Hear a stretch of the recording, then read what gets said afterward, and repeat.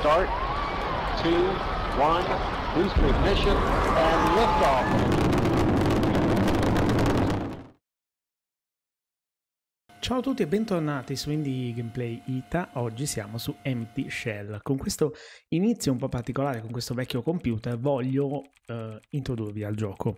Il gioco è un roguelike con una grafica particolarissima e secondo me a molti potrebbe piacere e a altrettanti potrebbe non piacere. Eh, che cosa si va a capire? Si va a capire da questo log, questa pagina DOS, eh, di una base in cui si, si è persa la comunicazione in pratica è stata effettuata una spedizione, stata, sono state preparate le persone per questa spedizione perché questa base non rispondeva più alle comunicazioni, la spedizione arriva, perdono la, la comunicazione anche con questa spedizione e finisce lì. Il tutto poi riprende vent'anni dopo, nel 75, prima eravamo nel 55, con un nuovo invio di nuove persone. Il gioco, come vi dicevo, è un roguelike, è in italiano e ha questo effetto che non credo sia levabile, eh, di mm, non so, schermo CRT, chiamiamolo così, effetto pixel normale, basso, possiamo aumentarlo diminuirlo.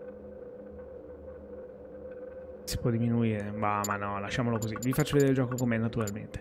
Allora, si gioca a difficoltà media e noi siamo, ovviamente l'ambientazione è il Giappone, non ve l'ho detto, insomma. Ci fanno salire su quelle barche di legno, armi puntate alla schiena perché la località è segreta. Ci viene data un'arma con qualche munizione, al più fortunato un fucile automatico. Questo per dire che l'inizio è casuale. È sempre diverso anche a livello di mappe. Eh, non ho mai capito perché ci mandino laggiù uno alla volta. Avremo qualche possibilità con una spedizione di più persone? Ne ho visti partire a decine nelle ultime settimane, uomini, donne, giovani, vecchi, nessuno è mai tornato. Una nuova barca lascia la nave ogni 12, massimo 24 ore. Le vedo sparire nella nebbia sotto la pioggia che non, che, eh, non sembra finirà mai di cadere. Dicono che la struttura non sia lontana da qui, non più di 4 miglia nautiche, poco più di 3 ore, prima di raggiungere la spiaggia. Eh, sempre, non, sempre, che le onde non avvicinano la barca per poi inghiottirti nel buio dell'oceano. Il prossimo turno è il mio. Quindi andiamo anche noi. Noi siamo Chiaki Kiba, 33 anni 1,69 m di altezza, l'ora e il giorno di eh, inizio. Noi siamo arrivati. Questa è eh, la, la, grafica. È come se fossimo ripresi costantemente da una telecamera di videosorveglianza. Eh, abbiamo il tutorial che ci consente di eh, capire con lo spazio ci schiviamo, saltiamo, insomma, corriamo. Tab apriamo la mappa, Q l'inventario, G il gadget e F il dispositivo. In una precedente run ho trovato per dire un drone e eh, andava lanciato, non era un equipaggiamento ma era proprio una cosa da lancio e stava intorno a me un po' stile Nier Automata eh, per um, proteggermi e sparare ai nemici. In questo caso trovo placche di protezione, Muzzi, Muzzi ce l'ho già, crediti, il Muzzi ce l'ho già. Quindi io premo Tab, vedete la mappa, premo la Q, vedete che, che cosa ho, ho un Muzzi c'è l'immagine, c'è una mitraglietta in pratica, proiettili, ho un martello e le placche. Praticamente noi, cliccando con il tasto destro, miriamo e spariamo, ma se io clicco col sinistro senza cliccare prima col destro, userò l'arma, che in questo caso è un martello. Iniziamo.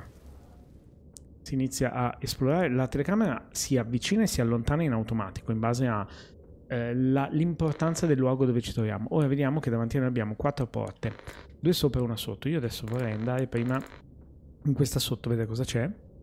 Tengo sempre puntato perché è una roguelike, si muore, si riparte con un altro personaggio, un altro volontario per questa spedizione e eh, un luogo completamente diverso. Qui lampeggia, quindi probabilmente c'è qualcosa con cui interagire. Cartucce calibro 12, drone con fucile automatico e celle energetiche. È quello che vi dicevo. Eh, questa stanza circolare mi porta a un'altra stanza. Mannaggia, mannaggia, mannaggia. In alto a sinistra, vedete? se posso caricare posso vedete la vita e a 0 su 100 invece non so cosa sia vabbè eh, siamo già messi malissimo scusate ma devo assolutamente fuggire non, non mi mamma mia ce n'è un altro anche là ok quello però è quasi morto così perfetto no voglio fare una cosa prendo questo equipaggio il drone e lo lancio col tasto G Vedete che gira intorno a me e ha una vita di 55. Mi dà una mano perlomeno. O sono le munizioni, devo capire. Comunque, abbiamo abbattuto il nemico. Ora mi domando, dato che è una zona Ok, ho finito anche i colpi. E il drone però c'è ancora. Dato che è una zona così protetta, magari c'è qualcosa di interessante all'interno. Vediamo la mappa. E non me la carica finché non entro. È una stanza enorme questa. E vediamo se c'è qualcosa che lampeggia. Ok. Sono le munizioni. Sono le munizioni del drone che quindi mh, immagino, presumo, non rimarrà con noi per sempre. Su tanti oggetti è possibile spingerli quando sono leggeri. Qua c'è qualcosa, c'è una porta. No, c'è un piccolo corridoio. Oh, mi stavano prendendo... Ok, qui c'è qualcosa. Poi quando c'è la... Vedete l'ombra? Eh, beh, bello. Apri. Proiettili piccolo calibro, ok. Munizioni esaurite. No, non ho, non ho niente. Assolutamente niente. Non ho neanche una pistola, immagino. Fammi vedere. Martello, placche di protezione. Ok, lo equipaggiate. Quindi A, A e armor. Ok, in alto a sinistra la A e l'armatura. Scusa, potresti... Ok, grazie. No, anche perché io posso solo colpire corpo a corpo, ma... Allora, fatemi vedere. Qua sotto abbiamo esplorato tutto. C'è una porta anche qui. Spero di trovare qualcosa. C'è qualcosa qui, no? Eccoli lì. Eh, ha quasi finito i colpi il drone, eh. 5 colpi ancora. Speriamo di, di trovare qualcosa. C'è una porta. Ok, il drone è finito. Il drone non c'è più. In compenso ho un nemico che mi sta facendo il paiolo. No, no, no, no, no, sta andando malissimo. Sta andando malissimo, però lì c'è qualcosa. Magari troviamo qualcosa. Placche di protezione. Eh, e continuo a premere tab, ma... Allora, placca di protezione. Non ho, non ho altro. Posso solo attaccare col martello. L'ho ucciso. L'ho ucciso, non sono messo bene. E secondo me sono anche entrato in una zona che non è proprio il massimo. Si può schivare, cosa che io non ho ancora fatto finora. Vedete che c'è anche un, la stamina qua dentro. Sicuro. Ok, però perlomeno questi, questi non sono, sono alieni, non sono armati. Quindi finché riesco a tenermi a distanza dovrei riuscire a contenerli. Infatti non ho perso vita, non ho perso armatura. Però questi mi sembrano già un po' più... Si fa un po' più, più di fatica quando siamo su tutto questo sangue, diciamo questi corpi versati luminescenti. Io non so quanto poi possa essere fastidioso per voi vederlo in video. Eh, giocando poi lo si va a comprendere. È un indie assolutamente particolare, non sono morto. Sono morto. Avevamo dei compiti, riavviare il generatore, riavviare il generatore laboratori. Ok. E niente, si ricomincia. Apro. Prendo tutte queste cose. Abbiamo un coltello da cucina, adesso non più un martello. Proiettili, il muzzi l'abbiamo ancora. Eh, perfetto.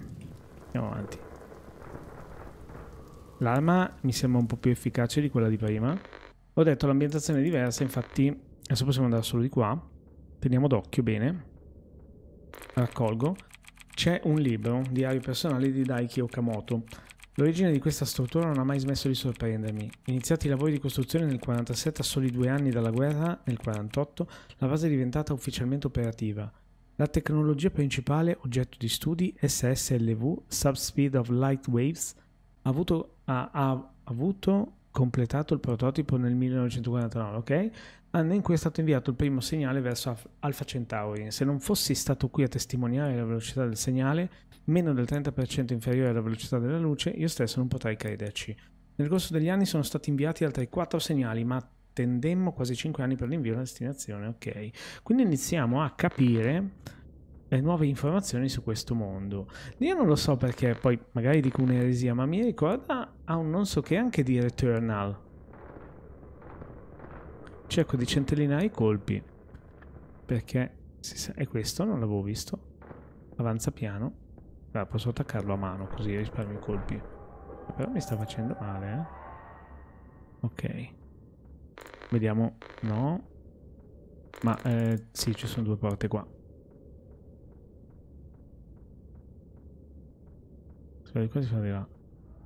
Io difficilmente accetto giochi eccessivamente particolari, ma questo mi ha intrigato davvero. Qua c'è, e potremmo farla un po' con, uh, non so, una sorta di documentario sulla lore. C'è un, una serie di sedie che mi viene da pensare, magari una serie di interrogatori, chi lo sa.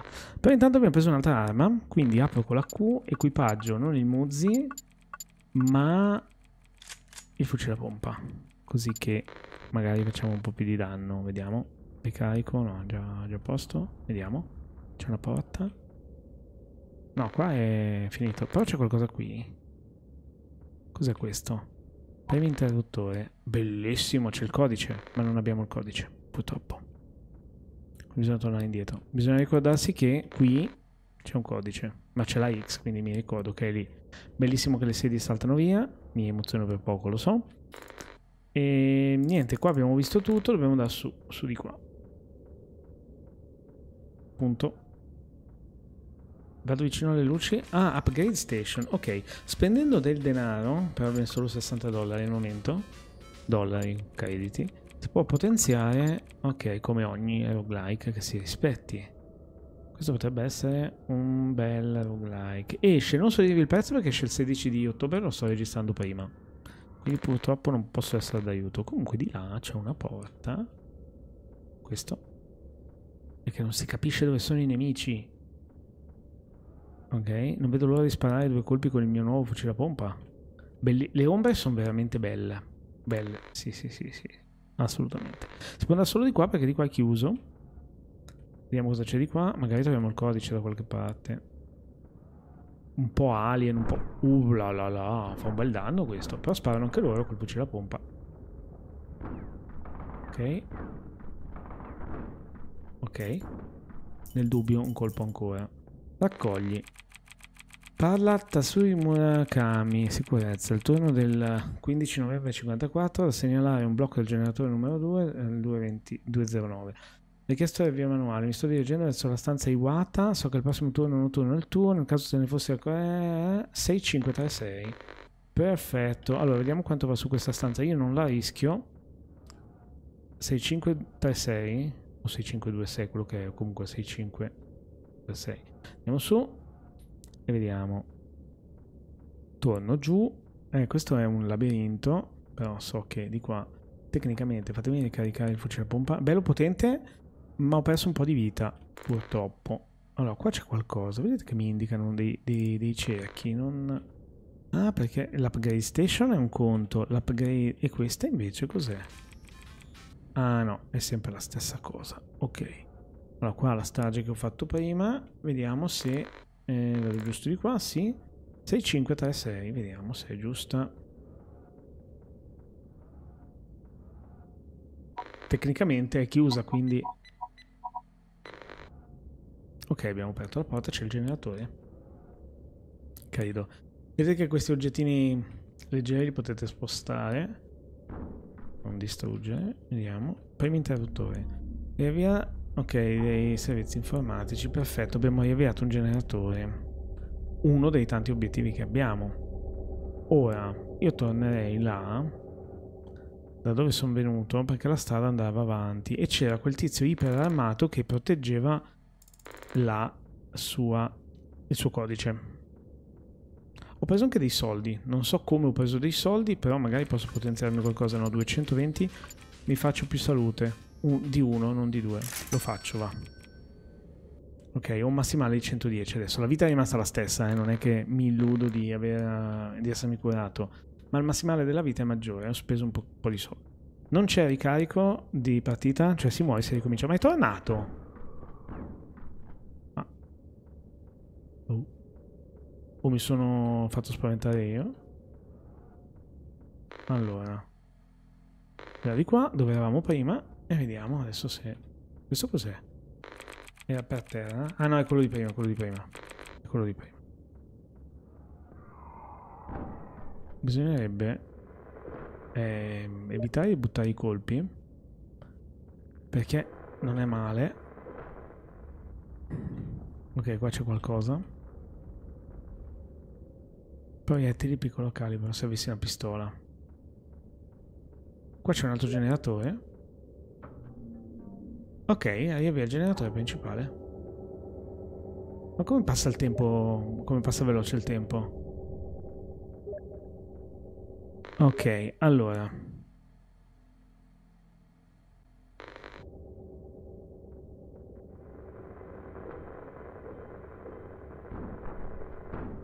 Ok.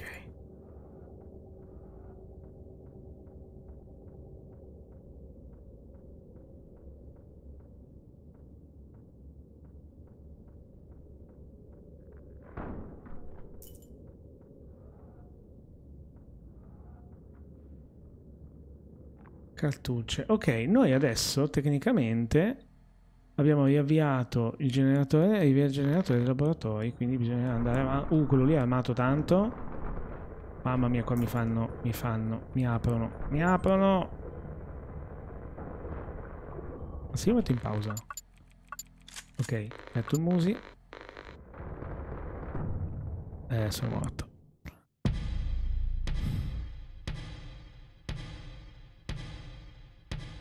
Ok, adesso ne prendo un altro di 51 anni, un uomo.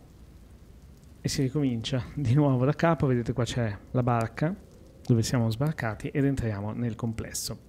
Il gioco Empty Shell è davvero interessante, benché abbia una grafica un po' particolare, che lo rende veramente di nicchia perché potrebbe non piacere a tanti. Però il gioco è sfidante, interessante, lo stiamo giocando a livello medio, si potrebbe giocare a livello facile, difficile o anche incubo. Fatemi sapere qua sotto nei commenti che cosa ne pensate e noi ci sentiamo in un prossimo video gameplay. Alla prossima e ciao ciao!